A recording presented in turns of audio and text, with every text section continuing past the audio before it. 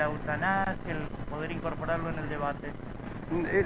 la verdad que no lo conozco en profundidad el proyecto, he leído más que nada los titulares que lo habría presentado el, senador Cobo, la verdad que no, no lo conozco el proyecto en profundidad, ha sido presentado en el Senado, a partir, de, a partir del próximo 10 Cobo comienza a formar parte de, la Cámara de Diputados. ¿no? Con la oposición sanjuanina, ¿cuál es eh, el esquema que van a utilizar para trabajar?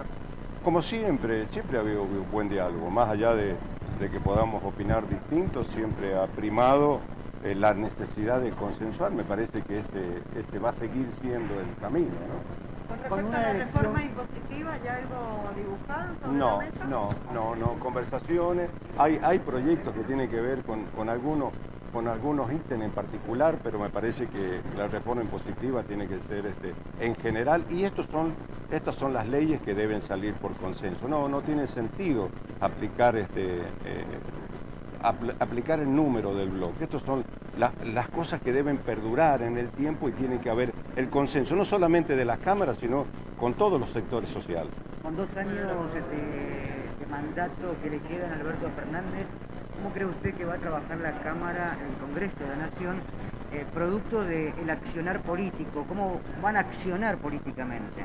No, yo creo que va a, yo creo que va a haber diálogo, principalmente lo que tiene que ver este, el año que viene. Gracias. Gracias.